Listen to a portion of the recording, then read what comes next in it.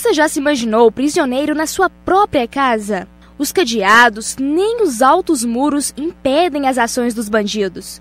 Esta é a realidade dos moradores do conjunto habitacional Elizabeth Nogueira.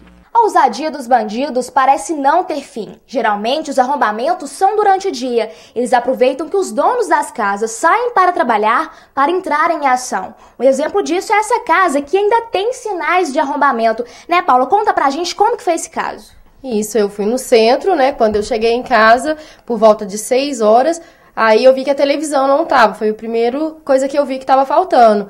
E aí eu entrei dentro dos quartos, estava tudo revirado, o meu quarto, o quarto da minha filha, e aí eu vim até a cozinha e vi que a porta estava arrombada. Foi muito prejuízo para você, né? Muito prejuízo. A casa estava toda bagunçada. E como que é o, a, o conjunto aqui, Elizabeth Nogueira? Foi só a sua casa ou já tá. já virou rotina já esses arrombamentos? Não, já virou rotina. Inclusive os policiais mesmo já falaram com a gente que todos os dias, desde quando o bairro foi inaugurado, que tem ocorrência aqui no bairro. É muito roubo, porque é muita gente, muita gente à toa aqui nesse bairro.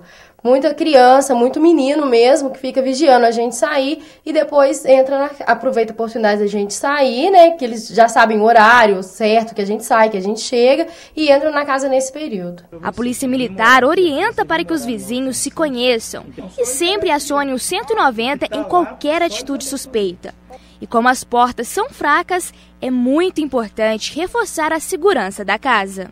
Portas e janelas, se são reforçadas, se existe um esquema de segurança, pessoas que vão ficar naquela casa, se existem pessoas que trabalham, pessoas que fiquem ali, moradores que vão com certeza montar um comércio também naquela região. É importante se organizar e conhecer, conversar. E claro, nunca compre produtos sem notas fiscais. O material que é tirado de uma casa são materiais utilizados televisão, utensílios, fogão e outros objetos que são de casa.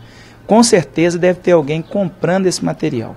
Né? Ou então alguém está tirando de uma casa e levando para outra. Então, no primeiro momento, todo o material que for adquirido de agora em diante, que você tenha uma nota fiscal, que você tenha um documento para comprovar que é proprietário.